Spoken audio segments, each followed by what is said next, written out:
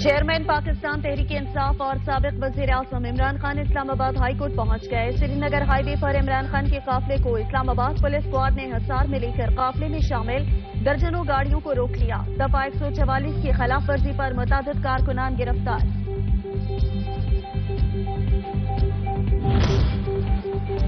इमरान खान की सात अबूरी जमानत की दरख्वास्तों पर दो दो एतराजात आयद इस्लामाबाद हाई कोर्ट के रजिस्ट्रार ऑफ़िस ने एतराजात आज किए। इमरान खान ने बायोमेट्रिक नहीं कराया। दरख्वास्त ट्रायल कोर्ट से पहले हाई कोर्ट कैसे दायर हो सकती है? रजिस्ट्रार ऑफ़िस का एतराज़। विफाकी वज़ीर दाखिला राना सनाउल्ला के बयान के खिलाफ इस्लामाबाद हाईकोर्ट में दरख्वास्त दायर दरख्वास्त चेयरमैन पीटीआई इमरान खान की जानब से दायर की गई। दरख्वास्त में मौके इख्तियार किया गया कि राना सनाउल्ला का बयान खुलम खुला धमकी आमेज है। घनावने मंसूबे के तहत इमरान खान को गिरफ़्तार किया जा सकता है। इस्लामाबाद पुलिस को इमरान खान की गिरफ्तारी से रोका जाए।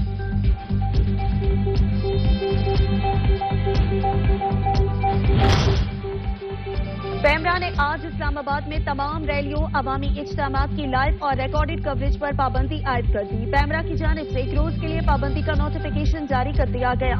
नोटिफिकेशन के मुताबिक एहतजाजी रैली या अवामी इज्तम की लाइव या रिकॉर्डेड कवरेज नहीं की जा सकती। कवरेज पर पाबंदी अमन अमान की सूरत हाल के पेश नज़र आयद की गई है। पीटीआई रहनुमा शाह महमूद कुरेशी कहते हैं इंतबात के लिए मिल बैठ कर बात कर सकते हैं, लेकिन हुकूमत की नीयत में खलल है। लैपटॉप, सीएसएल के लिए पैसे हैं, इलेक्शन के लिए नहीं, जलसा रोकने के लिए कंटेनर्स लगाए गए तो क्या जलसा नहीं हुआ? ये लोग अदलिया को दबाव में लाना चाहते हैं। उम्मीद है अदलिया आइन का तहफुज करेगी।